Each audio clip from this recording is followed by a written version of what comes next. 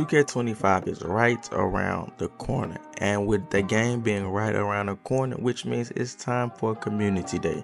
Now, Community Day happens every year, and every year there's a different take that creators have about Community Day.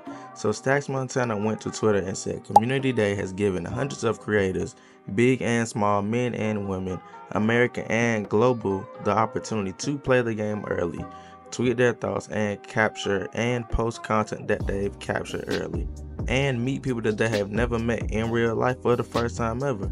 So basically what he's saying is people aren't really hype about community day anymore because some people don't get invited. But basically he's saying is that some people are mad that they aren't invited to community day. Now I can see his take on it, but there have been other YouTubers to have their takes on it too. So Bash had a take on. I'm not gonna post his take on it for real, for real, because he tweeted like a lot of different paragraphs. But some of the other different YouTubers that tweeted about it, Dignify pulled up a tweet and he said, for his tweet about Community Day, he says just bring out a demo. And I do really believe that they should bring out a demo. And I say that they should bring out a demo because it gives everybody the opportunity to play the game at the same time, to test it out at the same time. Last time we had a demo was 2K20. It's 2K25. We need one. I ain't gonna lie. I'm tired of playing the same stuff over and over, waiting until the new 2K drop. I would at least want to play something on it, you know. But if they did do a demo, everybody would get the game at the same time. And Community Day wouldn't be that much of a deal for real, for real. Because you still get to test the game out just like everybody else. So there's also a tweet from Yardman Gaming. He tweeted about Community Day. He went to Community Day for 2K23 and he said a lot of creators that went during 2K23 haven't been back since. But he said that there is no criteria for if you're going to go to Community Day or not. But if there was, his channel would go or create the criteria or meet the criteria to go back. And he's not lying. He he do, he do put in the work. I ain't even gonna lie. His channel is hard. His channel is tough. But yeah, I do agree with them and his statement. It is a business at the end of the day. 2K has to do what they feel is best for them and their company moving forward, even though if we don't agree with it. It ain't nothing we can do, you feel me? It's not nothing we can do to like really change that. But it shouldn't be that much of an outbreak over community day. Because at the end of the day, we still gonna play the game just later than others. Now 2K did release today their new ranked system for Play Now Online.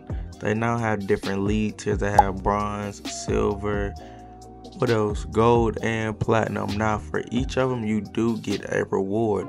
So for the bronze league, once you graduate, you need 20 points. Don't know what the point system is about.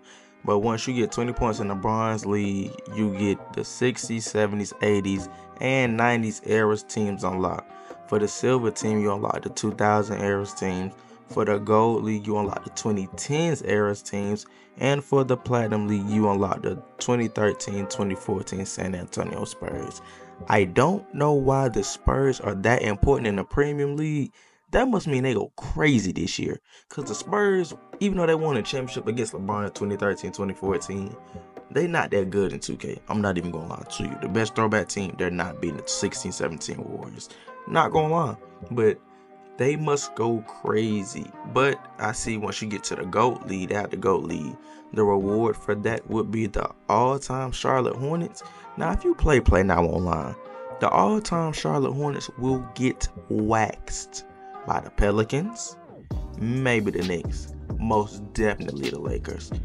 But I don't even know why they would have that as a GOAT lead reward unless they're doing it by seasons, you know.